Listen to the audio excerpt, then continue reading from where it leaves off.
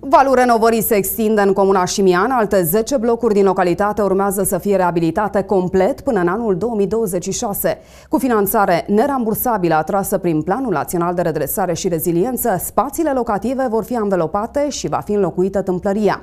În același timp se vor efectua și alte lucrări care vizează creșterea eficienței energetice. Proiectul Renovarea energetică a clădirilor rezidențiale, zona 2, va fi finalizat până la jumătatea anului 2026.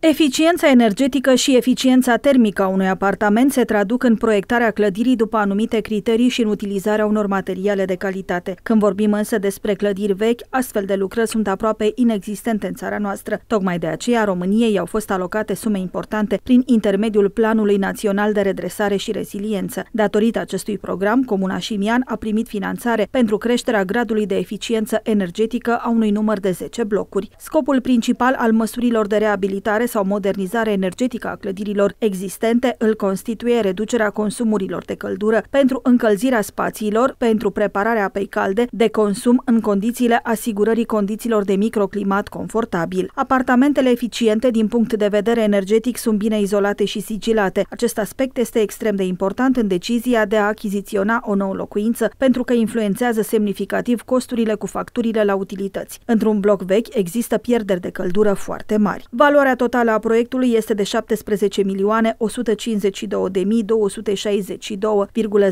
152.262,06 lei. Imobilele izolate termic vor avea un consum de energie la jumătate, iar locatarii nu trebuie să dea niciun leu pentru lucrări. Prin astfel de lucrări crește eficiența energetică, scade emisia de gaze cu efect de seră și se schimbă imaginea localității.